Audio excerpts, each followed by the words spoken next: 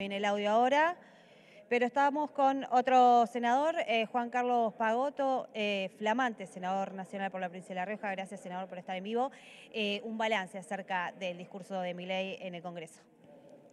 Bueno, un discurso realista, con mucho optimismo, que es lo que nos hace falta a los argentinos, y una convocatoria a que trabajemos por reconstruir este país que ha sido destruido hasta en sus cimientos más elementales.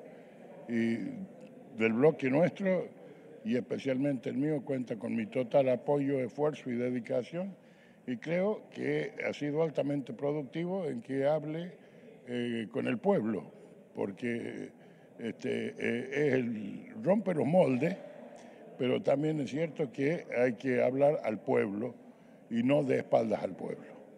Eh, ¿Qué le pareció en cuanto a lo que dijo de la reforma del Estado, trabajo en sesiones extraordinarias por parte del Congreso, la ley ómnibus? Eh, ¿cómo, ¿Cómo analiza esta situación? ¿Cuáles cree que van a ser las primeras reformas del Estado? No las conozco, las leeré cuando tenga el proyecto en mi ley. Creo que no es respetuoso hablar de, lo que no se conoce.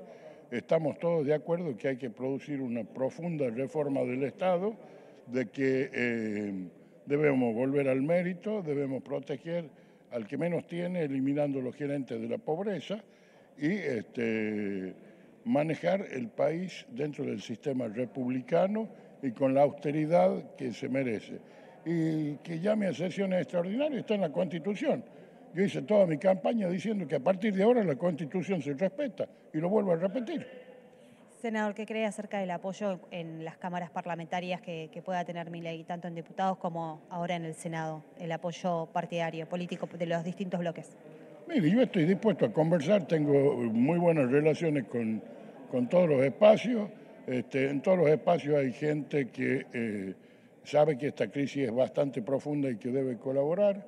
Hay gente que tiene la capacidad de... Este, dejar pequeñas diferencias para lograr grandes acuerdos y en ese sentido, en lo que yo pueda, sobre todo con algún sector del, Junto por el Cambio y, del movimiento patriótico. Y que eh, creo que nos tenemos que juntar todos y creo que es el momento del diálogo. Esto ya lo dijo Javier Mila y él solo no puede hacer nada. Es una tarea de todos.